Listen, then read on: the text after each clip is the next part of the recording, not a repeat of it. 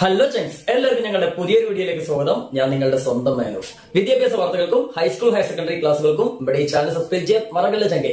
ഹബീബെ അങ്ങനെ S S L C പരീക്ഷയ്ക്ക് വേണ്ടി എങ്ങനെ പഠിക്കണം? അതേപോലെ തന്നെ പരീക്ഷാ ഹാളിലെത്തി കഴിഞ്ഞാൽ എങ്ങനെ പരീക്ഷ എഴുതണം? എങ്ങനെയൊക്കെ പരീക്ഷ എഴുതിയാലാണ്? എന്തൊക്കെ ഉടായ്പ ട്രിക്കുകൾ ഉപയോഗിച്ചാലാണ് കൂടുതൽ മാർക്ക് സ്കോർ ചെയ്യാൻ പറ്റുക? ഇത്തരത്തിലുള്ള സകല കാര്യങ്ങളും നമ്മൾ ഓൾറെഡി പറഞ്ഞു കഴിഞ്ഞു. ഫസ്റ്റ് ലാംഗ്വേജിന്റെ കാര്യമാണ് പറയുന്നത്. ബാക്കി സബ്ജക്റ്റുകളൊക്കെ നമുക്ക് ഓരോ ദിവസവും ബയ്യാല ബയ്യാല തരണ്ട് അപ്പൊ എന്തായാലും ഈ കാര്യങ്ങളൊക്കെ നമ്മൾ പറഞ്ഞു കഴിഞ്ഞു. ഇനി ഒരു പരീക്ഷാ കാലത്ത് അതായത് പരീക്ഷ തുടങ്ങുന്ന ഈ ഒരു സമയം അല്ലെ? ഇന്ന് മുതൽ പരീക്ഷ കഴിയുന്നത് വരെ ഓരോ വിദ്യാർത്ഥിയും എന്തൊക്കെ കാര്യങ്ങൾ ശ്രദ്ധിക്കണം? അതാണ് ഇനി ഈ വീഡിയോയിലൂടെ നമ്മൾ പറയാൻ പോണത്. കാരണം നമുക്കറിയാം കുറെ പഠിച്ചത് കൊണ്ട് മാത്രം ഒരു കാര്യമില്ല ചങ്കെ. ആ പഠിച്ച സാധനം കൃത്യമായിട്ട് മനസ്സിൽ നിൽക്കാനും അതേപോലെ നല്ല ഹെൽത്ത് ആയിട്ട് പരീക്ഷ എഴുതാനും വേറെയും കുറച്ച് കാര്യങ്ങൾ കൂടി വേണം. പ്രധാനമായിട്ടും പരീക്ഷാ സമയത്ത് നമ്മൾ ശ്രദ്ധിക്കേണ്ട അതായത് ഓരോ വിദ്യാർത്ഥിയും ശ്രദ്ധിക്കേണ്ട അതുപോലെ തന്നെ ഓരോ രക്ഷിതാവും ശ്രദ്ധിക്കേണ്ട നാല് കാര്യങ്ങളാണ് ഇപ്പൊ പറയാൻ പോണത്. ഇക്കാര്യം ഓരോ വിദ്യാർത്ഥിയും നന്നായിട്ട് ശ്രദ്ധിക്കണം അതേപോലെ തന്നെ അതിനു വേണ്ടിയിട്ടുള്ള എല്ലാ സാഹചര്യങ്ങളും രക്ഷിതാക്കൾ ഒരുക്കി കൊടുക്കാൻ വേണം. ഓക്കെ? അപ്പൊ ഞാൻ ഈ ഒരു വീഡിയോ ചെയ്യുന്നത് രക്ഷിതാക്കൾക്കും വിദ്യാർത്ഥികൾക്കും വേണ്ടിയിട്ടാണ് നമ്മുടെ ഈ ചാനൽ ഒരുപാട് പേരൻസ് കാണാറുണ്ട് ഒരുപാട് പേരൻസ് എനിക്ക് മെസ്സേജ് ചെയ്യാറുണ്ട്. അപ്പൊ എന്തായാലും അവർക്കും കൂടി വേണ്ടിയിട്ടാണ് ഈ ഒരു വീഡിയോ ചെയ്യുന്നത്. സംഭവം വേറെ നല്ല ചങ്കെ നാല് കാര്യങ്ങൾ നാല് കാര്യങ്ങളാണ് പഠനത്തിന് പുറമെ നമുക്ക് വേണ്ടത്. നമ്മൾ പഠിച്ചതൊക്കെ തലയിൽ നിൽക്കാനും നല്ല അടിപൊളിയായിട്ട് പരീക്ഷ എഴുതാനും. എന്തൊക്കെയാ നാല് കാര്യങ്ങൾ? ഒന്ന് ശരിയായ ഭക്ഷണം. ഓക്കെ? അതായത് നല്ല പോഷകാഹാരങ്ങൾ അടങ്ങിയിട്ടുള്ള ഭക്ഷണം കൃത്യമായ സമയത്ത്. നിങ്ങൾ എന്ത് ചെയ്യാ നിങ്ങൾ ഇതുവരെ എന്ത് ചെയ്തു? അതൊക്കെ വിട്ടേക്ക്.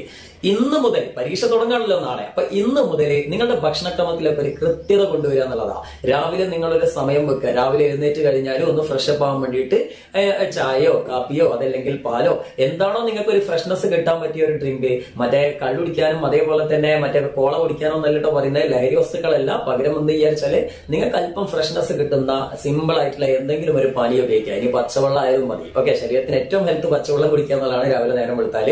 അതെന്തായാലും നിങ്ങൾ കുടിക്കണം. ഇനി അതല്ല ചില കുട്ടികൾക്ക് ചിലപ്പോൾ ഒന്നുകൂടി ഒരു എനർജി കിട്ടണമെങ്കിൽ ചായയോ കാപ്പിയോ കുടിക്കേണ്ടി വരും. അല്ലെ? ചില കുട്ടിക്ക് പാൽ കുടിക്കേണ്ടി വരും. അല്ലെങ്കിൽ ബൂസ്റ്റോ ഹോർലിക്സോ അങ്ങനെ എന്തെങ്കിലും വലിയ കുഴപ്പമൊന്നും നമ്മുടെ ശരീരത്തിന് ഉണ്ടാക്കാത്ത എന്തെങ്കിലും സോഫ്റ്റ് ഡ്രിങ്കുകൾ ഉപയോഗിച്ചാലും കുഴപ്പമൊന്നുമില്ല ഓക്കെ എന്നിട്ട് അത് കഴിഞ്ഞിട്ട് അതിന്റെ കൂടെ എന്തെങ്കിലും ലഘുഭക്ഷണം നിങ്ങൾക്ക് വേണമെങ്കിൽ കഴിക്കാം. ഈ മറ്റേ വയർ കാലിയായിട്ട് നിങ്ങൾ പഠിക്കുന്ന സമയത്ത് ചിലപ്പോൾ നിങ്ങൾക്ക് കൺഫ്യൂഷൻ ഉണ്ടാക്കും. അപ്പൊ അതുകൊണ്ട് ലഘു ഭക്ഷണങ്ങളും കഴിക്കുക. ഒരുപാട് വയറ് നിറച്ചിട്ട് എന്ത് ചെയ്യരുത്? പഠിക്കാൻ ശ്രമിക്കരുത് കേട്ടോ അത് കഴിഞ്ഞ് ഒരു എട്ട് മണിയോട് കൂടിയിട്ട് നിങ്ങൾ ബ്രേക്ക്ഫാസ്റ്റ് അതായത് പ്രഭാത ഭക്ഷണം കഴിക്കണം. ഈ ബ്രേക്ക്ഫാസ്റ്റ് ഒരാളുടെ ജീവിതത്തിൽ വളരെ ഇമ്പോർട്ടന്റ് ആണ്. നിങ്ങൾ ബ്രേക്ക്ഫാസ്റ്റ് എത്രത്തോളം നല്ല പെർഫെക്റ്റ് ആയിട്ട് കഴിക്കുന്നോ അത്രത്തോളം നിങ്ങൾക്ക് ആ ദിവസത്തെ എനർജി ഉണ്ടാവും. അതുകൊണ്ട് പ്രഭാത ഭക്ഷണം ഒരിക്കലും മുടക്കരുത്. അത് കൃത്യമായ സമയത്ത് ഒരു എട്ട് മണി സമയത്തെങ്കിലും നിങ്ങൾ എന്ത് ചെയ്യണം? അല്ലെങ്കിൽ അതിന് കുറച്ച് മുമ്പായിട്ടെങ്കിലും നിങ്ങൾ പ്രഭാത ഭക്ഷണം കഴിക്കണം. അപ്പൊ അത് നല്ല വൈറ്റമിൻ ഉള്ള ഭക്ഷണം തന്നെ ആയിരിക്കണം ഏറ്റവും മികച്ചതെന്ന് പറഞ്ഞാൽ ആവിയിൽ ഉണ്ടാക്കിയ ഭക്ഷണങ്ങൾ. അതായത് പുട്ട് ഇഡ്ഡലി ഇങ്ങനെയൊക്കെയുള്ള സാധനങ്ങൾ ഉണ്ടല്ലോ ഇതിന്റെ പേര് നിങ്ങളുടെ നാട്ടിൽ എങ്ങനെയാണെന്ന് എനിക്കറിയില്ല.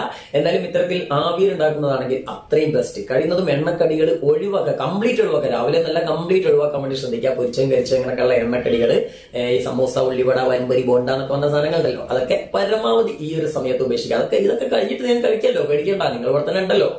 ഇനി അത് കഴിഞ്ഞിട്ട് ഉച്ച സമയം അല്ലെ ഉച്ച സമയത്തും ഇതേപോലെ തന്നെ അത്യാവശ്യം കുഴപ്പമില്ലാതെ രാവിലെ കഴിച്ച അത്ര പെർഫെക്റ്റ് ആയിട്ട് കഴിക്കണമെന്നല്ല എന്നാലും വലിയ കുഴപ്പമില്ലാതെ വയറക്കുന്ന ഒരു പാതി വയറെങ്കിലും നിറയുന്ന രീതിയിൽ എന്ത് ചെയ്യുക നിങ്ങൾ ഉച്ചഭക്ഷണം കഴിക്കുക. ഒരുപാട് കഴിച്ചു കഴിഞ്ഞാൽ പിന്നെ ഉച്ച ഭക്ഷണം ഒരുപാട് കഴിച്ചു കഴിഞ്ഞാൽ നിങ്ങൾക്ക് ഉറക്കം വരാനും ക്ഷീണം വരാനും പഠിക്കാനുള്ള മടി വരാനും സാധ്യതയുണ്ട്.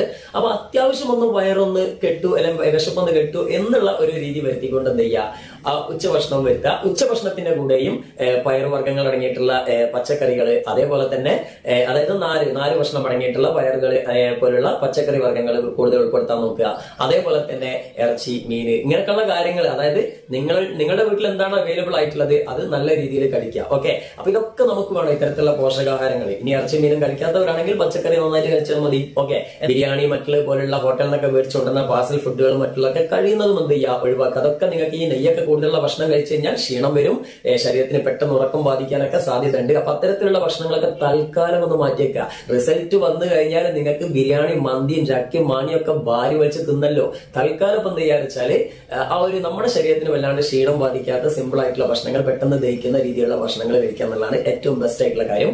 പിന്നെ ഇടക്കിടക്ക് വെള്ളം കുടിക്കുക. ഓക്കെ പഠിക്കുന്ന സമയത്തായാലും അതിനിടക്കുള്ള വിശ്രമവേളയായാലും എപ്പോഴും നിങ്ങളുടെ കയ്യിൽ ഒരു വാട്ടർ ബോട്ടിൽ ഉണ്ടായിക്കോട്ടെ. നല്ലതാണ്. പ്രത്യേകിച്ച് ഒരു ചൂടുള്ള സമയമാണ്. പരീക്ഷാ ചൂടും അതിലൂടെ പുറത്തുള്ള ചൂടും കൂടി ആകുമ്പോൾ ഡീഹൈഡ്രേഷനിലെ ടെൻഷൻ കാരണവും പുറത്തുള്ള ചൂടും കാരണം ഡീഹൈഡ്രേഷൻ നന്നായിട്ടുണ്ടാവും ശരീരത്തിൽ അത് നിങ്ങൾ അറിയാതെ നിങ്ങളുടെ മൈൻഡിനെയും ശരീരത്തെയും വീക്കാക്കും അപ്പൊ അതുകൊണ്ട് എന്ത് വിചാരിച്ചാൽ എപ്പോഴും കയ്യിലൊരു കുപ്പി എടുക്കുക എന്നിട്ട് എന്ത് ചെയ്യാം? ഇടക്കിടക്ക് ദിവസം ധാരാളം വെള്ളം കുടിച്ചോ. അപ്പൊ നിങ്ങൾ ഒരു ദിവസം ഒരു എട്ട് ലിറ്റർ മുതൽ പന്ത്രണ്ട് ലിറ്റർ വരെ കഴിക്കുക. അല്ലെങ്കിൽ അതിന്റെ കൂടുതൽ കുറച്ച് കുടിച്ചെന്ന് വിചാരിച്ചിട്ടും ഒരു കുഴപ്പമില്ല. അപ്പൊ എന്താ ചെയ്യുക അതിനനുസരിച്ച് നിങ്ങൾ വർക്ക് ചെയ്യുന്നുണ്ടല്ലോ. നിങ്ങളുടെ വർക്കിലോട് കൂടുതലായതുകൊണ്ട് കുറച്ച് തോനെ വെള്ളം കുടിച്ച് വിചാരിച്ചു ഒരു കുഴപ്പമില്ല. കുറയരുത്. വെള്ളം കുറഞ്ഞാൽ അത് വലിയ കുഴപ്പങ്ങൾ ഉണ്ടാക്കും. ഓക്കെ ഇനി വൈകുന്നേരമായി കഴിഞ്ഞാൽ ഇതുപോലെ എന്തെങ്കിലും ലഘുഭക്ഷണം കഴിക്കുക ചായയും എന്തെങ്കിലും ഒരു ചെറിയ കടി അവിടെയും ശ്രദ്ധിക്കുക. എണ്ണ പലഹാരങ്ങൾ കഴിയുന്നതും ഒഴിവാക്കുക. അതേപോലെ ഒരുപാട് മധുരമുള്ള ക്ഷീണം ബാധിക്കുന്ന വസ്തു- വസ്തുക്കളും കഴിയുന്നതും ഒഴിവാക്കുക. പിന്നെ രാത്രിയിലാണ് ഭക്ഷണം. രാത്രി ഒരു എട്ട് മണിക്കും ഒമ്പത് മണിക്കും ഇടയിലായിട്ട് രാത്രി ഭക്ഷണം കഴിക്കുക. ഓക്കെ അപ്പൊ ഈ ഭക്ഷണം കൃത്യസമയത്താക്കുക എന്നുള്ളതാണ് ആദ്യം നിങ്ങൾ ചെയ്യുക അതിനും ഒരു ടൈം ടേബിൾ വെക്കണം. നിങ്ങൾ പഠിക്കാൻ വേണ്ടി മാത്രം ടൈം ടേബിൾ വെച്ചിട്ട് കാര്യമില്ല. ഭക്ഷണത്തിന്റെ കാര്യത്തിലും ഒരു ടൈം ടേബിൾ വെക്കുക. ഇത് പേരൻസിനോട് നിങ്ങൾ പറയാം. അല്ലെങ്കിൽ പേരൻസിന് വീഡിയോ ഒന്ന് കാണിച്ചു കൊടുക്കുക. എന്നിട്ട് പേരൻസിനോട് ഇന്ന എന്ന സമയത്ത് എനിക്ക് ഭക്ഷണം വേണം. അത് നിങ്ങൾ അറേഞ്ച് ചെയ്ത് തരണം കാരണം ഭക്ഷണം നിങ്ങളല്ലല്ലോ ഉണ്ടാക്കണം നിങ്ങളുടെ പേരൻസ് അല്ലേ? അപ്പോൾ ഈ ഒരു മാസത്തെ എന്റെ ഭക്ഷണത്തിന്റെ ടൈം ടേബിൾ നിങ്ങളൊന്ന് മാനേജ് ചെയ്യണമെന്ന് പേരൻസിനോട് പറയാം. അപ്പൊ പേരൻസ് കൃത്യമായിട്ട് പേരൻസ് അലാറം വെച്ചിട്ട് എങ്ങനെയെങ്കിലും പേരൻസ് കൃത്യമായിട്ട് മെയിന്റെയിൻ ചെയ്തോളൂ. അപ്പം നിങ്ങൾക്ക് എന്താണ്? കുറെ പണി പറഞ്ഞിട്ടും നിങ്ങൾ പഠിക്കുന്നത് നിങ്ങളുടെ ഉള്ളിൽ തന്നെ കിടന്നോളൂ. ഓക്കെ ഞാൻ ഇത് സീരിയസ് ആയിട്ട് പറയുന്നത് വെറുതെ തമാശയായിട്ട് എടുക്കരുത്. കാരണം നിങ്ങൾ പഠിക്കുന്നതിന് കാര്യം വേണമെന്നുണ്ടെങ്കിൽ നിങ്ങൾ കാര്യം ചെയ്തേ പറ്റുള്ളൂ. അല്ലാതെ വെറുതെ ചെറവറാന്ന് പഠിച്ചിട്ട് ഒരു കാര്യമില്ല ഓക്കെ ഞാൻ എങ്ങനെ പഠിക്കണം എന്ന് ഇവിടെ പറയാത്തത് അതൊക്കെ നമ്മൾ ഓൾറെഡി വീഡിയോ ചെയ്തിട്ടുണ്ട്. നമ്മുടെ പ്ലേലിസ്റ്റ് നോക്കിയാൽ നിങ്ങൾക്ക് കാണാം. അതുകൊണ്ടാണ് അക്കാര്യങ്ങളൊന്നും ഇവിടെ പറയാത്തത്. പഠനം പോലെ തന്നെ പ്രധാനപ്പെട്ടതാണ് ഇതൊക്കെ. ഇനി ശരിയായ ഭക്ഷണം അപ്പൊ കഴിഞ്ഞു അല്ലെ? ഇനി അടുത്തെന്താന്ന് വിചാരിച്ചാൽ ശരിയായ വിശ്രമമാണ്. നമ്മൾ ഒരുപാട് പഠിച്ചത് കൊണ്ടോ അതേപോലെ തന്നെ ശരിയായ രീതിയിൽ ഭക്ഷണം കഴിച്ചതുകൊണ്ടോ മാത്രം കാര്യമില്ല. നമ്മൾ ഈ കഴിക്കുന്ന ഭക്ഷണം ദഹിക്കാനും അതേപോലെ തന്നെ പഠിക്കുന്ന സാധനം ഇവിടെ സ്റ്റോർ ചെയ്ത് വെക്കാനും മനസ്സിനും ശരീരത്തിനും ഇടക്കിടക്ക് റെസ്റ്റ് കൊടുക്കണം. അപ്പോൾ നമ്മൾ ഒരു ഒരു മണിക്കൂറോ അല്ലെങ്കിൽ ഒരു ഒന്നര മണിക്കൂറോ പഠിച്ചു കഴിഞ്ഞാൽ ഒരു അഞ്ചോ പത്തോ മിനിറ്റ് ഒന്ന് ബ്രെയിൻ എന്ത് ചെയ്യുക റെസ്റ്റ് കൊടുക്കുക. അപ്പോൾ ഒന്ന് റിലാക്സ് ചെയ്യുക. ആ റിലാക്സ് ചെയ്യുന്ന സമയത്ത് ഒന്നുകിൽ നിങ്ങൾക്ക് ചുമ്മാ ഇരിക്കാം ഏഹ് അതല്ലെങ്കിൽ എന്ത് ചെയ്യാം? ഒന്ന് ജസ്റ്റ് ഒന്ന് അങ്ങോട്ടും ഇങ്ങോട്ടൊക്കെ നടക്കുക. കുടുംബങ്ങളും ഒക്കെ ചെറുതായിട്ട് എന്ത് ചെയ്യുക? എന്തെങ്കിലുമൊക്കെ ഏ, അതായത് ചുമ്മാ നാട്ടുവർത്താനങ്ങളോ അല്ലെങ്കിൽ കുടുംബത്തിൽ എന്തെങ്കിലും സന്തോഷങ്ങളോ അങ്ങനെയുള്ള എന്തെങ്കിലും കാര്യങ്ങളിൽ ഏർപ്പെടാം. അതല്ലെങ്കിൽ ചെറിയ രീതിയിൽ മ്യൂസിക് കേൾക്കാം. പക്ഷേ ഈ സമയത്ത് നിങ്ങൾ അവോയ്ഡ് ചെയ്യേണ്ട ചില കാര്യങ്ങളുണ്ട്. ഒന്ന് ശരീരത്തിന് ഉപദ്രവം ഉണ്ടാക്കുന്ന രീതിയിലുള്ള കളികളുണ്ടല്ലോ. അതായത് ഫുട്ബോൾ ക്രിക്കറ്റ് ഇങ്ങനെയൊക്കെയുള്ള പുറത്ത് പോയിട്ടുള്ള ഓടിച്ചാടി കളികളൊക്കെ. അതിന്റെ പ്രശ്നം എന്താണെന്ന് വിചാരിച്ചാൽ അത് നല്ലതല്ല എന്നല്ല പറയുന്നത്. പക്ഷേ ചിലപ്പോൾ നിങ്ങൾക്ക് അപകടം പറ്റാൻ സാധ്യതയുണ്ട്. പലപ്പോഴും കാണുന്നതാണ് എക്സാം ടൈമിൽ ഒരുപാട് കുട്ടികൾ കയ്യും കാലും ഒടിഞ്ഞിട്ട് ഇങ്ങനെ നടക്കുന്നത്. അപ്പൊ അത്തരത്തിൽ അത് നിങ്ങളുടെ മുഴുവൻ എന്ത് ചെയ്യുക ഭാവിയെയും അതേപോലെ പഠിക്കാനുള്ള എഫേർട്ടിനൊക്കെ ബാധിക്കും. അപ്പൊ അതുകൊണ്ട് അത്തരത്തിലുള്ള കളികളൊക്കെ നിങ്ങൾ പരീക്ഷ കഴിഞ്ഞിട്ട് കളിച്ചോളൂ. നിങ്ങൾക്ക് ഞാൻ പറഞ്ഞു വെറും ഒരു മാസം നിങ്ങളുടെ ഒരു മനുഷ്യായുസിന്റെ വെറും ഒരു മാസം മാത്രമാണ് ഇപ്പൊ നിങ്ങൾ ഇതിനു വേണ്ടി മാറ്റി വെക്കുന്നത്. ബാക്കിയുള്ള സമയം മൊത്തം നിങ്ങൾക്ക് ഇത്തരത്തിലുള്ള കളികൾക്കൊക്കെ വേണ്ടി മാറ്റി വെക്കാം. ഈ പരീക്ഷ കഴിഞ്ഞാൽ ഇഷ്ടംപോലെ സമയമുണ്ട്. നിങ്ങൾ ആരും ഒന്നും ചെയ്യാം പ്ലസ് വൺ അഡ്മിഷൻ തുടങ്ങുന്നവരെ നിങ്ങൾക്ക് ഫുട്ബോളോ ക്രിക്കറ്റോ എന്ത് ചക്കി മാങ്ങി വേണമെങ്കിലും കളിക്കുക. അതുകൊണ്ട് അതൊക്കെ തൽക്കാലം ഇപ്പൊ ഒന്നും എന്ത് ചെയ്യുക അടങ്ങുക അല്ലെ? എന്നിട്ട് വളരെ എന്ത് ചെയ്യുക വലിയ അപകടമൊന്നും പറ്റാത്ത രീതിയിലുള്ള കളികളൊക്കെ കളിക്കുക. പിന്നെ പ്രത്യേകിച്ച് ഒഴിവാക്കേണ്ട മറ്റൊന്നാണ് ഗെയിമുകൾ അതേപോലെ തന്നെ സിനിമകൾ പിന്നെ സീരിയൽ ഇങ്ങനെയൊക്കെയുള്ള നിങ്ങളുടെ മനസ്സിനെ ചാഞ്ചാടിപ്പിക്കുന്ന അതായത് മനസ്സിനെ ടെൻഷൻ ഉണ്ടാക്കാനൊക്കെ സാധ്യതയുള്ള സകല ഹലാക്കിന്റെ അവലും കഞ്ഞളിയായിട്ട് ഒഴിവാക്കുക കേട്ടോ. നമുക്കറിയാം ഗെയിം ആണെങ്കിൽ നമുക്ക് കൂടുതൽ ടെൻഷൻ ഉണ്ടാക്കും. നമ്മളറിയാതെ നമ്മളെ സമയം കൊല്ലും നമ്മൾ ഇത് തീ സമയം പോകുന്ന പോലും അറിയില്ല ഗെയിമൊക്കെ കളിക്കുമ്പോൾ അപ്പൊ അതൊക്കെ തൽക്കാലം ഒരു മാസത്തേക്ക് മാറ്റി വെക്കുക. ഇതൊക്കെ കഴിഞ്ഞാലും ഈ മൊബൈലും ഈ ഗെയിമും ഇവിടെ തന്നെ ഉണ്ടാവും. ഇതങ്ങോട്ടും പോകില്ല ഓക്കെ? അപ്പം നിങ്ങളുടെ ജീവിതത്തിലെ നിർണായകമായ സമയമാണ്. അപ്പം ഒരാൾ നിങ്ങളെ ഉപദേശിച്ചു തരികയാണ്. ഉപദേശം സ്വീകരിക്കുക. കൗമാരക്കാരാണ്. കൗമാരക്കാരാകുമ്പോൾ ഉപദേശം സ്വീകരിക്കാനൊക്കെ കുറച്ച് ബുദ്ധിമുട്ടുണ്ടാവും. ഇയാൾക്ക് വേറെ പണിയൊന്നും ഇല്ല ഇയാൾ നമ്മളാരെ പഠിപ്പിക്കാനെന്നൊക്കെ തോന്നും. എന്നാലും പിന്നീട് റിഗ്രറ്റ് ചെയ്യാതിരിക്കാൻ വേണ്ടിയിട്ടാണ് പറയുന്നത്. തൽക്കാലം ഒരു മാസമല്ലേ നിങ്ങളുടെ ജീവിതത്തിലെ ഒരു മാസമേ ഞാൻ ചോദിക്കുന്നുള്ളൂ. ആ ഒരു മാസം എനിക്ക് വേണ്ടിയിട്ടല്ല നിങ്ങൾക്ക് വേണ്ടിയിട്ടാണെന്ന് കൂടി മനസ്സിലാക്കുക.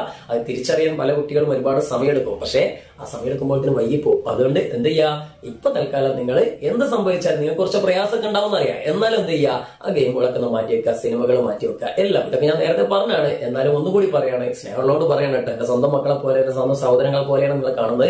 അതുകൊണ്ട് വീണ്ടും വീണ്ടും പറയാണ് അതൊക്കെ ഒന്ന് മാറ്റി വെക്കുക എന്നിട്ട് പഠനത്തിലേക്ക് മാത്രം എന്ത് ചെയ്യുക? കോൺസെൻട്രേറ്റ് ചെയ്യുക. ഓക്കെ അപ്പം വിശ്രമവേളകൾ വിശ്രമ വേളകൾ കൊടുക്കണം എന്ന് മനസ്സിലായല്ലോ? ഇനി അതുകൂടാതെ തന്നെ രാത്രിയിൽ അത്യാവശ്യം നന്നായിട്ട് ഉറങ്ങണം. ഓക്കെ ഒരുപാട് സമയം എന്നല്ല മിനിമം ഒരു ആറ് മണിക്കൂറിനും അതേപോലെ ഏഴ് മണിക്കൂറിനും ഇടയിൽ നിങ്ങൾ പരീക്ഷാ സമയത്ത് ഉറങ്ങാൻ വേണ്ടി ശ്രദ്ധിക്കുക. ഒരു ആറ് മണിക്കൂറെങ്കിലും നിങ്ങൾ ഉറങ്ങണം. അപ്പൊ രാത്രി ഒരു പത്ത് മണി പത്തരാകുമ്പോഴത്തേന് ഉറങ്ങണം. പ്രത്യേകിച്ച് പരീക്ഷയുടെ തലേ ദിവസം നന്നായിട്ട് ഉറങ്ങണം. ഓക്കെ അത് പകലല്ലേ? രാത്രിയുടെ കാര്യമാണ് പറഞ്ഞത്. പകൽ ഒരു കാരണവശാലും പറഞ്ഞത് പകൽ ഉറങ്ങിയാൽ നിങ്ങൾക്ക് ക്ഷീണം കൂടും. പ്രത്യേകിച്ച് എന്താ വെച്ചാൽ നിങ്ങൾക്ക് ഇപ്പോഴേ പകൽ ഉറങ്ങുന്ന സ്വഭാവം ഉണ്ടെങ്കിൽ എക്സാം ഒക്കെ ഉച്ച സമയത്തൊക്കെ എക്സാം അപ്പൊ ആ സമയത്ത് എന്താ സംഭവിക്കുക? പരീക്ഷ പരീക്ഷകളിലും നിങ്ങൾക്ക് ഇതേ മന്ദപ്പ് വരും. നിങ്ങൾക്ക് നിങ്ങൾ ആലോചിക്കുന്ന നേരത്തെ നിങ്ങളുടെ മനസ്സ് പറയുന്നത് ചെങ്ങായി കിടന്നുറങ്ങിക്കാതെ ഉറങ്ങേണ്ട സമയം പറയും. പരീക്ഷകളിൽ കിടന്നു ഉറങ്ങേണ്ടി വരും. അപ്പൊ അതുകൊണ്ട് ഒരു കാരണവശാലും പകൽ സമയത്ത് ഉറങ്ങരുത്.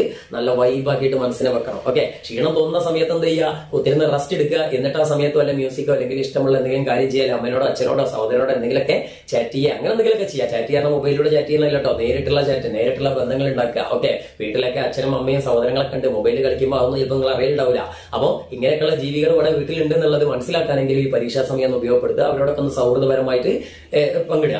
അതേപോലെ തന്നെ ഭക്ഷണം കഴിക്കുമ്പോൾ നിങ്ങൾ ശ്രദ്ധിക്കേണ്ട മറ്റൊരു കാര്യം ഒരുമിച്ചിരുന്ന് ഭക്ഷണം കഴിക്കുക എന്നുള്ളത് അതും പേരൻസിനോട് പറയട്ടോ വീട്ടിൽ അച്ഛനും അമ്മയും അതേപോലെ സഹോദരങ്ങൾ ആരൊക്കെ വീട്ടിലുണ്ടോ എല്ലാവരും ഒരുമിച്ച് ഭക്ഷണം കഴിക്കുക എന്നുള്ളതാണ് അടുത്തായിട്ട് നിങ്ങൾ ശ്രദ്ധിക്കേണ്ടത്. നിങ്ങൾ ഒറ്റപ്പെടരുത്. എപ്പോഴും നിങ്ങളുടെ കൂടെ കുറെ ആളുകളുണ്ട്. അവർ നിങ്ങൾ എന്ത് ചെയ്യുന്നുണ്ട് സംരക്ഷിക്കുന്നുണ്ട്. നിങ്ങളുടെ കാര്യത്തിൽ അവർക്ക് ശ്രദ്ധയുണ്ടെന്ന് തോന്നിപ്പിക്കണം. ഓക്കെ? അതുകൊണ്ട് നിങ്ങൾ എപ്പോഴും കുടുംബത്തോടൊപ്പം തന്നെ നിൽക്കുക എന്നുള്ളതാണ് അടുത്ത കാര്യം. ഒരു സൗഹൃദമായ ഒരു ബോൾഡ് ആയിട്ടുള്ള ഒരു അന്തരീക്ഷം ഉണ്ടാക്കിയെടുക്കുക. അതിന് പേരൻസ് ശ്രദ്ധിക്കണം. കുട്ടികളോടൊപ്പം തന്നെ പരീക്ഷാ സമയത്ത് കുട്ടികളോടൊപ്പം തന്നെ വേണം ഭക്ഷണ സമയത്തായാലും അവർ പഠിക്കുന്ന സമയത്തായാലും അവരെപ്പോഴും ഇങ്ങനെ എൻകറേജ്മെന്റ് ചെയ്തുകൊണ്ടേയിരിക്കുക ധൈര്യപ്പെടുത്തിക്കൊണ്ടേയിരിക്കുക. കാരണം ഒരു മാതാവിനേക്കാളും പിതാവിനേക്കാളും അതേപോലെ കുടുംബത്തിലെ ഏറ്റവും എന്താ അടുത്ത രക്തബന്ധത്തെക്കാളും വലിയ ടീച്ചേഴ്സ് വേറില്ല. അവരാണ് ഏറ്റവും കൂടുതൽ ഒരാളെ മോട്ടിവേറ്റ് ചെയ്യാൻ പറ്റിയ പവറുള്ള ആൾക്കാർ അപ്പൊ അവരാണ് കുടുംബത്തിലെ മിന്നൽ മുരളിമാര്. അപ്പൊ അവർക്ക് എന്താണ് തീർച്ചയായിട്ടും ഒരു കുട്ടിയെ മോട്ടിവേറ്റ് ചെയ്യാനും ആ കുട്ടിയെ ഉയരങ്ങളിലേക്ക് എത്തിക്കാനും പറ്റും. അപ്പൊ അതൊന്ന് ശ്രദ്ധിക്കുക. അപ്പൊ പഠനത്തോടൊപ്പം ഭക്ഷണത്തോടൊപ്പം അല്പം വിശ്രമവും ആവാന്ന് മനസ്സിലായല്ലോ? ഇനി നമുക്ക് വേണ്ടത് നല്ല കൃത്യമായ വ്യായാമമാണ്. ഈ വ്യായാമം എന്ന് പറയുമ്പോൾ ജിമ്മ് പോയിങ്ങാണ്ട് കണ്ട് തലകുത്തി മറിയ ഇങ്ങനെയുള്ള കേട്ടോ ഉദ്ദേശിച്ചത്. ചെറിയ ചെറിയ ലഘുവായിട്ടുള്ള വല്ല ബ്രീത്തിങ് എക്സസൈസ് യോഗകൾ അതും അല്ലെങ്കിൽ ചെറിയ തരത്തിലുള്ള പുള്ളപ്പ് പുഷപ്പ് ഇങ്ങനെയൊക്കെയുള്ള വലിയ എന്താണ് എഫേർട്ട് എടുക്കാത്ത ചെറിയ ചെറിയ എക്സസൈസുകളൊക്കെ ചെയ്ത് കഴിഞ്ഞാൽ നിങ്ങളുടെ ശരീരത്തിലെ ബ്ലഡ് സർക്കുലേഷൻ കൂടാനും അതേപോലെ ഓക്സിജൻ ലെവൽ വർദ്ധിക്കാനും ബ്രീത്തിങ് കപ്പാസിറ്റി വർദ്ധിക്കാനും അതുപോലെ മെന്റൽ ഹെൽത്ത് വർദ്ധിക്കാനും ഇത് സഹായിക്കും. മാത്രമല്ല നിങ്ങൾ കഴിക്കുന്ന ഭക്ഷണം കൃത്യമായിട്ട് എന്ത് ചെയ്യാനേ ദഹിക്കാൻ ഡൈജസ്റ്റ് ചെയ്യാനും അതേപോലെ തന്നെ നിങ്ങളുടെ ബ്രെയിനിന് കൂടുതൽ കപ്പാസിറ്റി കൂടാനൊക്കെ നിങ്ങളുടെ ഈ എക്സസൈസ് സഹായിക്കും വെറുതെ പറയില്ല ഇതൊക്കെ ശാസ്ത്രം തെളിയിച്ചാണ് ഞാൻ വല്ല മറ്റേ മന്ത്രവാദി ഒന്നല്ല ഞാനിങ്ങനെ വെറുതെ ഇങ്ങനെ തള്ളി മറക്കുകയല്ല. ഇതൊക്കെ ശാസ്ത്രീയമായി തെളിയിക്കപ്പെട്ടിട്ടുള്ള കാര്യമാണ്. വെറുതെ പഠിച്ചുകൊണ്ട് മാത്രം കാര്യമില്ല ഈ കാര്യം കൂടി വേണം. അപ്പോ അത് ഉച്ച സമയത്തൊന്നും കൊണ്ടേ ചെയ്യാനുള്ളതല്ല രാവിലെയും രാത്രിയും. ഈ രണ്ട് സമയത്താണ് നിങ്ങൾ എന്ത് ചെയ്യേണ്ടത്? എക്സസൈസ് ചെയ്യേണ്ടത്. രാവിലെ ചെയ്യേണ്ടത് ശാരീരികമായ വ്യായാമങ്ങൾക്കാണ് കൂടുതൽ ഇമ്പോർട്ടൻസ് കൊടുക്കേണ്ടത്. ഇപ്പൊ ഞാൻ പറഞ്ഞ പുഷപ്പ് പുള്ളപ്പ് അല്ലെങ്കിൽ ചെറിയ തരത്തിലുള്ള യോഗകൾ ഇതൊക്കെ രാവിലെ ചെയ്യുക. രാത്രി ഉറങ്ങുന്നതിന് മുമ്പ് ബ്രീത്തിങ് എക്സസൈസ് ചെയ്യുക. അതായത് ഒന്ന് കട്ടിൽ ഇരുന്നിട്ടോ അല്ലെങ്കിൽ കട്ടിൽ ശവാസനത്തിൽ കിടന്നിട്ടോ ശവാസനം എന്ന ശവം പോലെ ഇങ്ങനെ എന്ത് ചെയ്യുക? ഫ്രീ ആക്കി കിടന്നിട്ട് എല്ലാ മനസ്സൊക്കെ റിലാക്സ് ചെയ്തിട്ട് ഇങ്ങനെ എന്ത് ചെയ്യുക? ഉള്ളിലേക്ക് ഇൻഹേലിലെ നന്നായിട്ട് ശ്വാസം വലിക്കുക. ശ്വാസം വലിച്ചിട്ട് കുറച്ച് നേരം ഇങ്ങനെ ഹോൾഡ് ചെയ്ത് വെക്കുക. അധികം നേരം ഹോൾഡ് ചെയ്ത് വെക്കേണ്ട. മയ്യത്തായി പോകുക എന്നിട്ട് എന്ത് ചെയ്യുക? എന്നിട്ട് വളരെ സാവധാനം അതിങ്ങനെ പുറത്തേക്ക് വിടും ഇങ്ങനെ ചെയ്താൽ നിങ്ങളുടെ ശരീരത്തിലെ ഓക്സിജൻ സർക്കുലേഷൻ കൂടും. അതേപോലെ ബ്ലഡിന്റെ നല്ല ബ്ലഡ് ഒക്കെ ശുദ്ധീകരിക്കപ്പെടും. കൂടുതൽ ബ്രെയിന് പവർ ആവും. ഓക്കെ ഇനി ആദ്യം പറഞ്ഞാൽ വ്യായാമം ചെയ്യാൻ പറഞ്ഞു വിചാരിച്ചിട്ട് ജിമ്മിലൊന്നും പോയിട്ട് ഒന്ന് രണ്ട് മണിക്കൂർ വെറുതെ ഞാൻ വേസ്റ്റ് ചെയ്യാൻ നിൽക്കരുത് അതിനൊന്നും ആവശ്യമില്ല. വീട്ടിൽ കുത്തിരുന്നിട്ട് ഒരു അഞ്ചോ പത്തോ മിനിറ്റ് അല്ലെങ്കിൽ മാക്സിമം പോയ ഒരു അരമണിക്കൂർ ചെലവാക്കേണ്ട കാര്യമുള്ളൂ. പക്ഷെ അരമണിക്കൂർ വ്യായാമത്തിന് ചെലവാക്കിയാൽ പഠിക്കാനുള്ള സമയം എന്ന് വിചാരിക്കേണ്ട. ആ അരമണിക്കൂർ നിങ്ങൾ വ്യായാമത്തിന് ചെലവാക്കി കഴിഞ്ഞാൽ നിങ്ങൾക്ക് രണ്ട് മണിക്കൂർ കൊണ്ട് പഠിക്കേണ്ടത് ഒരു മണിക്കൂർ കൊണ്ട് പഠിച്ചാൽ മതി. കാരണം ഇതൊക്കെ ഡെവലപ്പ് ആവും. മനസ്സിലായില്ലേ? അപ്പം ഇങ്ങനെയുള്ള കാര്യങ്ങൾ കൂടി ചെയ്യണം. നിങ്ങൾ ഈ എട്ടാം ക്ലാസ്സിലെട്ടാണ് പഠിച്ചതുകൊണ്ട് സ്മാർട്ട് വർക്കും ഹാർഡ് വർക്കും തമ്മിലൊരു വ്യത്യാസം. ഒരു ചാപ്റ്റർ രണ്ട് കർഷകർ എന്ത് ചെയ്തു? മയം എടുത്താണ്ട് രണ്ട് മരം വെട്ടുകാർ അല്ലേ മയം എടുത്തുകൊണ്ട് വെട്ടാൻ ഇറങ്ങിയ ഒരു മത്സരം വെച്ച് ഒരാൾ കണ്ടിന്യൂസ് ആയിട്ട് മരം വെട്ടിക്കൊണ്ടിരുന്നത് മറ്റാൾ എന്താ ചെയ്തത്? കുറച്ചു നേരം മരം വെട്ടും എന്നിട്ട് പിന്നെ കുറച്ച് റെസ്റ്റ് എടുക്കും. എന്നിട്ട് ആ റെസ്റ്റ് എടുക്കുന്നതിന് ശേഷം പിന്നെ എന്ത് ചെയ്യും? അയാളുടെ മയം മൂർച്ച കൂട്ടും പിന്നും വെട്ടും. അവസാനം വൈകുന്നേരം ആയപ്പോ എന്തായി? ഈ റെസ്റ്റ് എടുത്ത് മയം മൂർച്ച കൂട്ടി വെട്ടിയ സ്മാർട്ട് വർക്ക് ചെയ്ത ആളാണ് എന്ത് ചെയ്തത്? കൂടുതൽ മരം വെട്ടിയത്. ഹാർഡ് വർക്ക് ചെയ്ത് കണ്ടിന്യൂസ് ആയിട്ട് മരം വെട്ടിയവന് കുറച്ച് മരം വെട്ടാൻ കഴിഞ്ഞിട്ടുള്ളൂ. എന്താ ഇതിന് മനസ്സിലാക്കേണ്ടത് വെറുതെ നമ്മൾ ആ കഠിനാധ്വാനം മാത്രം ചെയ്തിട്ട് കാര്യമില്ല. അതിനിടയ്ക്ക് റെസ്റ്റ് വേണം കുറച്ച് പ്ലാനിങ് വേണം ഒക്കെ വേണം. ഇതൊക്കെ ഉണ്ടെങ്കിൽ നമ്മുടെ ഈ മനസ്സ് എന്ന് പറഞ്ഞാൽ അത് ഒറ്റയ്ക്ക് നിൽക്കുന്ന ആളല്ല. ശരീരം കൂടി അതിന്റെ കൂടെ നിന്നാലേ മനസ്സിന് പവർ കിട്ടുള്ളൂ അല്ലെ? അപ്പൊ അതൊക്കെ ഒന്ന് ശ്രദ്ധിക്കുക. തിരിച്ചു അങ്ങനെ തന്നെ കേട്ടോ. ശരീരത്തിന് പവർ കിട്ടണമെങ്കിൽ മനസ്സും കൂടി വിചാരിക്കണം. മനസ്സിലായല്ലോ? ആ ഇനി അടുത്തായിട്ട് അവസാനത്തെ കാര്യം എന്ന് പറഞ്ഞാൽ ശരിയായ വിനോദമാണ്. അതായത് വിശ്രമം വേണം ഭക്ഷണം വേണം അതേപോലെ തന്നെ വ്യായാമം വേണം. ഇനി എന്തും വേണം? വിനോദവും വേണം. ഈ വിനോദം എന്ന് പറഞ്ഞാൽ ഞാൻ നേരത്തെ ഓൾറെഡി പറഞ്ഞു കഴിഞ്ഞു. ഈ വിനോദം എന്ന് പറഞ്ഞാൽ നിങ്ങൾ മൊബൈൽ ഫോണിൽ എന്ത് ചെയ്യുക? ഗെയിം കളിക്കുക. അതല്ലെങ്കിൽ സിനിമ കാണുക. ഇങ്ങനെയുള്ളൊന്നല്ല വിനോദം. എന്താണ് വിനോദം എന്ന് പറഞ്ഞാൽ ഒന്നുകിൽ നിങ്ങൾക്ക് എന്ത് വിചാരിച്ചാൽ നിങ്ങളുടെ റെസ്റ്റിംഗ് പീരീഡിൽ ഈ പഠനത്തിന്റെ അടുത്തുള്ള ചെറിയ ചെറിയ ഇടവേളകളിൽ നിങ്ങൾക്ക് ഒന്നുകിൽ ലഘുവായിട്ടുള്ള മ്യൂസിക് ഡപ്പാങ്കുത്ത് ഡാഡി മമ്മി വീട്ടിലില്ല എന്നുള്ള പാട്ട് കേൾക്കാനല്ല കേട്ടോ പറഞ്ഞത്. എന്ത് ചെയ്യുക? ചെറിയ ചെറിയ ലൈറ്റ് മ്യൂസിക്കുകൾ ഹെഡ്സെറ്റ് ഉപയോഗിച്ചിട്ടോ അല്ലെങ്കിൽ ഹെഡ്സെറ്റ് ഉപയോഗിക്കാതെ ലൈറ്റ് ആയിട്ടുള്ള വോയിസ് വെച്ച് ഒരുപാട് സൗണ്ട് വെച്ചിട്ട് ബ്രെയിൻ ഇറിറ്റേറ്റ് ചെയ്യരുത്. വളരെ ലൈറ്റ് ആയിട്ട് ലൈറ്റ് മ്യൂസിക് നിങ്ങൾക്ക് ഇഷ്ടപ്പെട്ട മലയാളമോ ഹിന്ദി ഏതെങ്കിലും ഇതിന്റെ ലൈറ്റ് മ്യൂസിക്കുകൾ കേൾക്കാം. ഇനി അത് നിർബന്ധമില്ല അത് കേൾക്കണം നിർബന്ധമൊന്നുമില്ല. അതില്ലെങ്കിൽ അത് മൈൻഡിനെ റിലാക്സ് ചെയ്യാൻ കേട്ടോ മൈൻഡിനെ റിലാക്സ് ചെയ്യാൻ സംഗീതത്തോളം കഴിവുള്ള വേറെ ഒന്നുമില്ല അതുകൊണ്ടാണ് നിങ്ങൾ നിങ്ങളുടെ മനസ്സാകെ ടെൻഷൻ അടിച്ച് ഇങ്ങനെ ഭയങ്കര പ്രക്ഷുബ്ധമായി നിൽക്കുക. ഒരുപാട് കാര്യങ്ങൾ സ്റ്റോർ ചെയ്തിട്ട്. അപ്പൊ അതിനൊന്നും തണുപ്പിക്കാനാ. ഇനി മ്യൂസിക് കേട്ടെന്ന് വിചാരിച്ചും കണ്ട് ഒരിക്കലും നിങ്ങൾ പഠിച്ച സാധനം മറന്നൊന്നും പോരട്ടോ അതൊന്നും വിചാരിക്കേണ്ട. ഒരിക്കലും മറന്നുപോല അപ്പം മ്യൂസിക് കേട്ട് നിങ്ങളുടെ മനസ്സൊന്ന് തണുപ്പിടും നമ്മൾ ഒരു സാധനം നല്ല ചൂടായിട്ട് നിൽക്കുന്ന ഒരു സാധനം എന്ത് ചെയ്യും? ഒന്ന് വെള്ളമൊക്കെ വെച്ച് തണുപ്പിച്ചാൽ എങ്ങനെ ഉണ്ടാവും? അതേമാതിരിയാണ് നിങ്ങളുടെ മനസ്സ് ഇങ്ങനെ സ്ട്രോങ് ആയിട്ട് അല്ലെങ്കിൽ അത് തിളച്ചു മറിയുന്ന മനസ്സിനെ ഒന്ന് തണുപ്പിക്കാൻ വേണ്ടിയിട്ടാണ് ഇത്തരത്തിലുള്ള സംഗീതങ്ങൾ ഉപയോഗിക്കേണ്ടത്. പക്ഷെ അത് ഹെവി വെയിറ്റ് ഉള്ള അല്ലെങ്കിൽ നല്ല ഡപ്പാങ്കുത്ത് പാട്ടുകളൊക്കെ ഇട്ടുണ്ടെങ്കിൽ നിങ്ങളുടെ ബ്രെയിൻ ഒന്നും കൂടി ഡൗൺ ആവുകയ്യ അതുകൊണ്ട് അത്തരത്തിലുള്ള പാട്ടുകളൊന്നും ഒരിക്കലും ഉപയോഗിക്കരുത്. പിന്നെ നിങ്ങൾക്ക് വിനോദമായിട്ട് ഉപയോഗിക്കാൻ പറ്റിയത് നിങ്ങളുടെ കുടുംബവും മൊത്തമുള്ള ചെറിയ ചെറിയ ചർച്ചകൾ തമാശ പറച്ചിൽ കുടുംബത്തിലെല്ലാം കൂടി ഒരുമിച്ചിരുന്ന് പാട്ട് പാടുക. ഇങ്ങനെയൊക്കെയുള്ള കാര്യങ്ങൾ എന്ത് ചെയ്യുക നിങ്ങളുടെ ബ്രെയിനിന്റെ എന്ത് ചെയ്യും? കൂടുതൽ പവർ കൂട്ടാൻ നിങ്ങളുടെ മാനസികമായിട്ടുള്ള കൂടുതൽ എനർജി കിട്ടാനൊക്കെ കാരണമാവും. അപ്പൊ ഏറ്റവും നല്ലത് ഈ ഒരു പരീക്ഷാ സമയത്തുള്ള വിനോദം എന്ന് പറഞ്ഞാൽ കുടുംബവും മൊത്തമുള്ള ചർച്ചകളും കുടുംബവും മൊത്തമുള്ള സർവർച്ചിൽ ഇങ്ങനെയൊക്കെയുള്ള കാര്യമാണ് പുറത്തേക്കൊന്നും പോകണ്ട. നിങ്ങളുടെ വീടിനകത്ത് തന്നെ നല്ലൊരു പ്ലാറ്റ്ഫോം നിങ്ങൾ ഉണ്ടാക്കിയെടുക്കുക. അച്ഛനും അമ്മയും എല്ലാവരും കൂടി ചേർന്നിട്ട് തമാശ പറച്ചിലൊക്കെ ആയിട്ട് ആ മെന്റലി എന്താണ് ഒന്ന് റിലാക്സേഷൻ ഉണ്ടാക്കിയെടുക്കുക എന്നുള്ളതാണ് ഏറ്റവും ബെസ്റ്റ് ഇനി അതിനൊന്നും സാധിക്കാത്ത കുട്ടികളുണ്ടെങ്കിൽ നിങ്ങൾ എന്നും കളിക്കാറുള്ള ഫുട്ബോൾ ക്രിക്കറ്റ് കളിക്കാറുള്ള വല്ല പാഠങ്ങളും തൊട്ടടുത്തുണ്ടെങ്കിൽ അവിടെ കുട്ടികളൊക്കെ കളിക്കുന്നുണ്ടെങ്കിൽ എന്ത് ചെയ്യുക ആ കളി ഒന്ന് കണ്ടിരിക്കുക. ഒരിക്കലും അവിടെ പോയിട്ട് കളിക്കാൻ നിൽക്കരുത്. കളിക്കാൻ നിന്ന് കഴിഞ്ഞാൽ സ്വാഭാവികമായിട്ട് ഞാൻ പറഞ്ഞു പരിക്ക് പറ്റാനൊക്കെ സാധ്യതയുണ്ട്.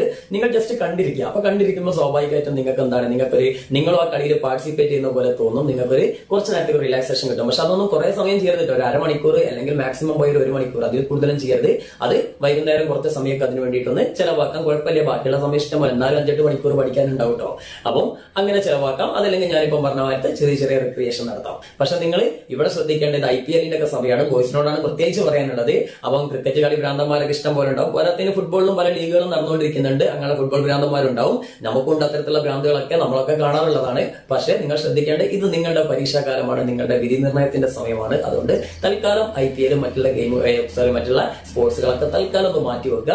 കാരണം ഇതൊക്കെ അവിടെ തന്നെ ഉണ്ടാവും. അവന്മാര് പൈസ വാങ്ങുന്നു അവന്മാര് കളിക്കുന്നു അവന്മാര് കപ്പ് നേടുന്നു. പക്ഷേ നിങ്ങൾ ഈ സമയത്ത് നിങ്ങളുടെ വിലപ്പെട്ട സമയം രണ്ടോ മൂന്നോ മണിക്കൂർ ഇത്തരത്തിലുള്ള കളികൾ കാണാൻ വേണ്ടി മാറ്റി വെച്ചാൽ നിങ്ങളുടെ ലൈഫാണ് സ്പോയിൽ ആവുക. അതുകൊണ്ട് തൽക്കാലം അതൊക്കെ ഒന്ന് മാറ്റി വെക്കുക. ഇത് കഴിഞ്ഞിട്ട് കാണാൻ ഇഷ്ടം പോലെ. ഇപ്പൊ ഞങ്ങൾ കാണലല്ലോ ഞങ്ങളുടെ പണിയൊക്കെ കഴിഞ്ഞ് ഞങ്ങളുടെ എല്ലാ തിരക്കുകളും ഞങ്ങളുടെ പഠനകാലം കഴിഞ്ഞതിന് ശേഷം ഞങ്ങൾ നന്നായിട്ട് എൻജോയ് ചെയ്യുന്നുണ്ട്. അതേമാതിരി നിങ്ങൾക്കും ഇനി സമയമുണ്ട്. ഈ ഒരു മാസം കഴിഞ്ഞ ഇഷ്ടം പോലെ സമയമുണ്ട്. ഇതൊക്കെ എൻജോയ് ചെയ്യാനേ.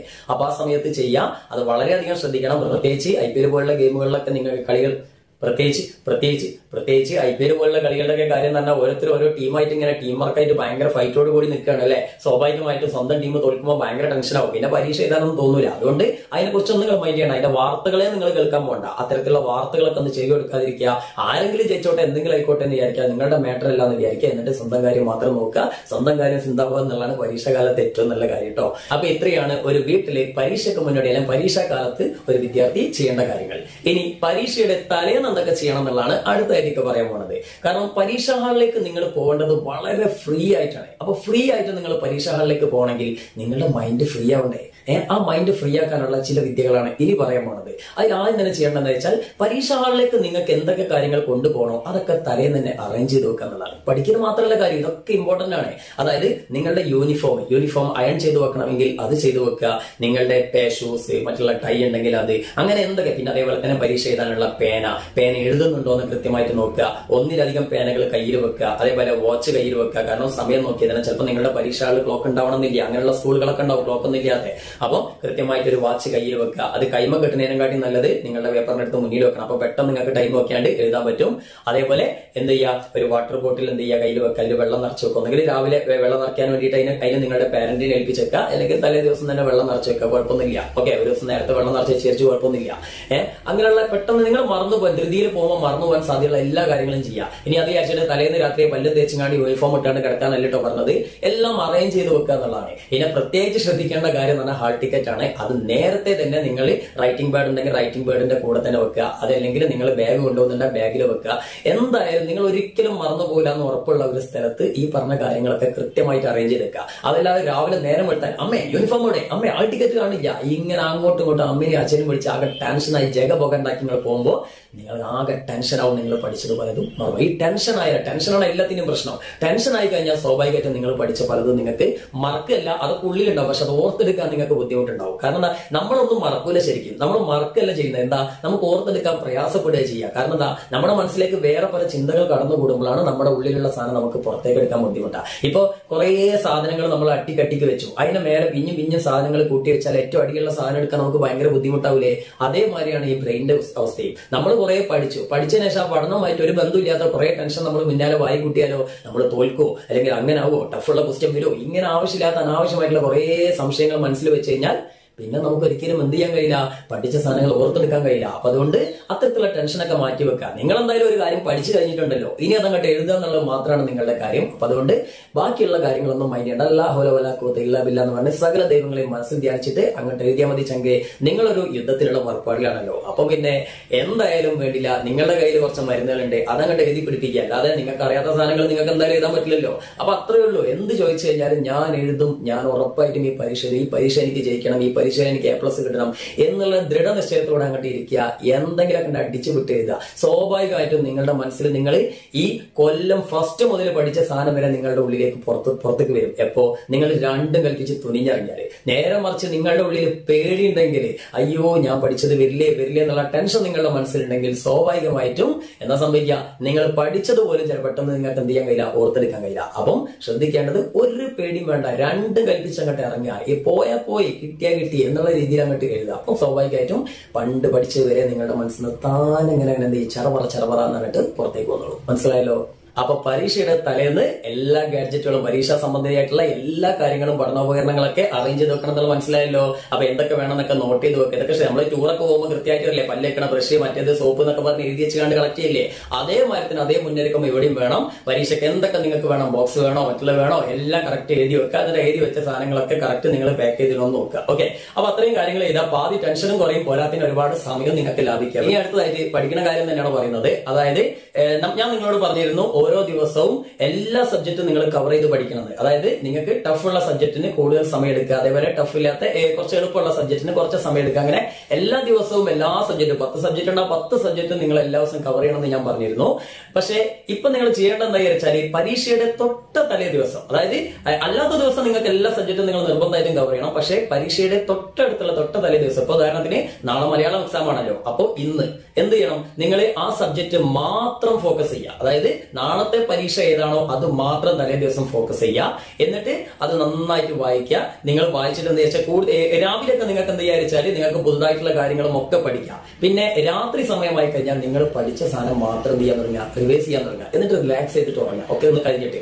പിന്നെ അതിനുശേഷം രാവിലെ നേരം കൊടുത്തിട്ട് നിങ്ങൾ ചെയ്യേണ്ടത് ഒരു കാരണവശാലും കുറച്ച് നേരത്തെ നീക്കുക നാല് മണി അഞ്ചു മണി സമയത്തൊക്കെ നീക്കുക നാല് മണിക്കൊക്കെ നീച്ചാൽ അത്രയും നല്ലത്. നേരത്തെ ഉറങ്ങുക ഒരു പത്ത് പത്തര ആകുമ്പോഴത്തേന് ഉറങ്ങുക കേട്ടോ. എന്നിട്ട് നാല് മണിക്കൊക്കെ എഴുന്നേൽക്കുക കാരണം രാത്രി കുറെ ലേറ്റ് ആയിട്ട് പഠിച്ചുകൊണ്ട് വലിയ കാര്യമൊന്നുമില്ല. നിങ്ങളുടെ ബ്രെയിൻ കുറച്ച് വീക്ക് ആയിരിക്കും. അപ്പോൾ ഉറങ്ങി ഉറങ്ങി ഇങ്ങനെ പറയുമ്പോൾ ഉറക്കം ഒഴിവാക്കി കണ്ട് കാൽ മൊത്തം വെള്ളത്തിലിട്ടാണ് പഠിച്ചിട്ടൊന്നും ഒരു കാര്യമില്ല. അതുകൊണ്ട് രാത്രി ഉറക്കം വരുമ്പോണ്ട് ഉറങ്ങുക. എന്നിട്ട് എന്ത് ചെയ്യുക? രാവിലെ കുറച്ച് നേരത്തെ നീക്കുക എന്നിട്ട് കുളിച്ചൊക്കെ ഒന്ന് ഫ്രഷ് ആവുക. അല്ലെങ്കിൽ ഇപ്പൊ കുളിച്ച് ഫ്രഷ് ആയിട്ടില്ലെങ്കിൽ കുഴപ്പമൊന്നുമില്ല. പക്ഷെ കുളിച്ച് ഫ്രഷ് ആയാൽ അത്രയും നല്ലത് കാരണം എന്തായാലും സ്കൂളിൽ പോകുമ്പോൾ കുളിക്കണമല്ലോ. അത് രാവിലെ തന്നെ കുളിച്ച് ഫ്രഷ് ആയാൽ ആ പഠിക്കാൻ ഒരു എനർജി കിട്ടും. എന്നിട്ട് നിങ്ങൾ എന്താ ചെയ്യേണ്ടത് വെച്ചാൽ പുതുതായിട്ട് ഒന്നും പഠിക്കാൻ ശ്രമിക്കരുത്. പരീക്ഷന്റെ അന്നത്തെ കാര്യമാണ് അന്ന് രാവിലെ. ഇപ്പൊ ഇന്നിപ്പോ പത്ത് മണിക്കാണ് പരീക്ഷയെങ്കിൽ ഇന്നിപ്പോ നിങ്ങൾ രാവിലെ നാല് മണിക്ക് എഴുന്നേറ്റിട്ടുണ്ടെങ്കിൽ നിങ്ങൾ പുതുതായിട്ടൊന്നും പഠിക്കാൻ ശ്രമിക്കരുത്. പകരം നിങ്ങൾ അതുവരെ ആ ഒരു കൊല്ലം കൊണ്ട് ആ സബ്ജക്റ്റുമായി ബന്ധപ്പെട്ട് എന്തൊക്കെ നിങ്ങൾ പഠിച്ചോ അതൊക്കെ നിങ്ങൾ നേരത്തെ നോട്ട് ചെയ്ത് വെക്കണം. ആ കാര്യങ്ങളൊക്കെ ഒന്ന് എന്ത് ചെയ്യുക റിവേഴ്സ് ചെയ്യുക. എല്ലാ പാഠഭാഗങ്ങളും ഒന്നും കൂടി ഓടിച്ചിട്ട് വായിക്കുക ഒക്കെ ഒന്ന് റിവേഴ്സ് ചെയ്യുക. അപ്പൊ നിങ്ങൾ പഠിച്ച സാധനങ്ങളൊക്കെ നിങ്ങളുടെ മനസ്സിന്റെ എവിടെയെങ്കിലൊക്കെ ഉണ്ടോ എന്നൊക്കെ നിങ്ങൾക്ക് അപ്പോൾ മനസ്സിലാവും ഓക്കെ ഇനി നിങ്ങൾക്ക് കിട്ടാത്ത സാധനങ്ങൾ ഉണ്ടെങ്കിൽ അപ്പൊ ഒന്ന് എഴുതി നോക്കുക. അപ്പൊ എഴുതി നോക്കുമ്പോൾ ആ ശരി പരീക്ഷയ്ക്ക് പരീക്ഷയ്ക്ക് ഇന്ന ചോദ്യം വന്നു കഴിഞ്ഞാൽ എനിക്ക് എഴുതാൻ പറ്റുമോ? ഒന്ന് എഴുതി നോക്കുക. അപ്പൊ ആ എഴുതാൻ പറ്റുന്നുണ്ട്. അപ്പൊ നിങ്ങൾക്ക് ഓരോ കോൺഫിഡൻസ് അപ്പം തന്നെ ഇങ്ങനെ ഡെവലപ്പ് ആവും. അല്ലാതെ പരീക്ഷയുടെ രാവിലെ നിങ്ങൾ പുതിയ അയ്യോ ഇന്ന ചാപ്റ്റർ ഞാൻ പഠിച്ചില്ല എന്ന് പറഞ്ഞിട്ട് ചാടി കയറി പുതിയ ചാപ്റ്ററുകൾ പഠിക്കാൻ നിന്നാൽ കൺഫ്യൂസ്ഡ് ആവും. ചിലപ്പോൾ നിങ്ങൾക്ക് അത് തലയിലേക്ക് നിൽക്കില്ല കാരണം രാവിലെ സ്വാഭാവികമായിട്ട് അങ്ങനെയാണ്. പുതിയ കാര്യങ്ങൾ പഠിക്കാൻ ശ്രമിച്ചു കഴിഞ്ഞാൽ അതിന് നമുക്ക് ഒരുപാട് സമയം വേണ്ടി വരും സ്വാഭാവികമായിട്ടും എന്താണ്ടാവുക നമ്മൾ ആദ്യം പഠിച്ചതും കൂടി മറക്കാനുള്ള ഒരു അവസ്ഥ ഉണ്ടാക്കും. കാരണം ടെൻഷൻ കാരണം. അയ്യോ ഇത് ഞാൻ പഠിച്ചിട്ടില്ലല്ലോ പഠിക്കാൻ കഴിയില്ലല്ലോ അപ്പൊ അതൊക്കെ വിട്ടേക്കുക. നിങ്ങൾ എന്ത് ചെയ്യുക നിങ്ങൾ എത്ര പഠിച്ചോ അതോടെ അൻപത് ശതമാനം അൻപത് ശതമാനം ഇരുപത് ശതമാനം ഇരുപത് ശതമാനം. അത് മാത്രം രാവിലെ എന്ത് ചെയ്യുക ഒന്ന് റിവൈൻഡ് ചെയ്യുക എന്നിട്ട് പരീക്ഷ തുടങ്ങുന്നതിന്റെ ഒരു അരമണിക്കൂർ മുമ്പെങ്കിലും നിങ്ങൾ കംപ്ലീറ്റ്ലി കാം ആവുക. ഓക്കെ ഇനി ബസ്സിനൊക്കെ പോകുന്ന കുട്ടികളാണെങ്കിൽ ആ പോകുന്ന വീട്ടിൽ നിന്ന് നേരെ സ്കൂളിലേക്ക് പോകുന്ന സമയം മുതൽ കംപ്ലീറ്റ്ലി കാം ആവും. അല്ലാതെ ബസ് കുത്തിരിക്കുമ്പോൾ ഇങ്ങനെ കടമ്പ കടം നടങ്ങാണ്ട്